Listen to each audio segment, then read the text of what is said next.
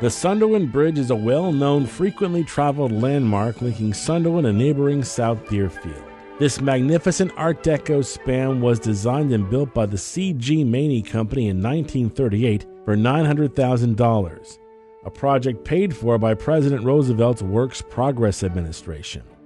This was not the first bridge built in this location, it was actually the 10th. The bridge's history dates back to 1812 when the first version was built by the Sunderland Bridge Corporation. It was not nearly as aesthetically beautiful or engineered as sturdily as its successors. It was actually a crudely built wooden structure, which was a little too close to the water. It eventually washed out and was replaced with another similarly built wooden structure. From 1812 to 1877, seven other bridges were constructed.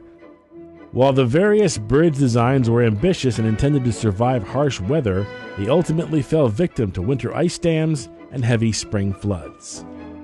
Six of those early bridges were toll bridges.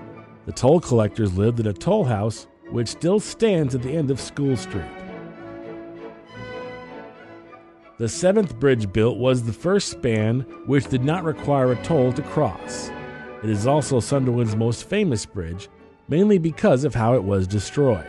On a December evening in 1876, the town's doctor, C.J. Trow, was crossing the bridge on his horse when it was hit by a large ice dam. Trow, his horse, and the wagon survived, but the incident prompted construction of a sturdier bridge which would be able to better withstand the elements. In 1877, the town's first iron bridge was built.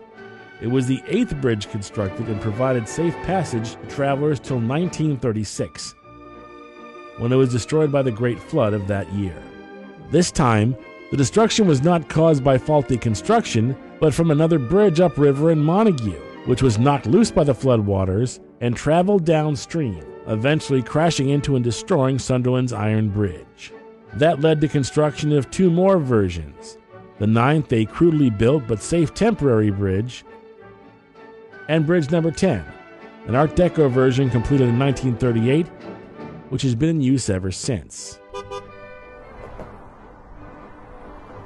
In 1992, the bridge underwent what turned out to be a somewhat controversial renovation which saw the original cast iron Art Deco railings discarded and replaced with simpler blue contemporary railings.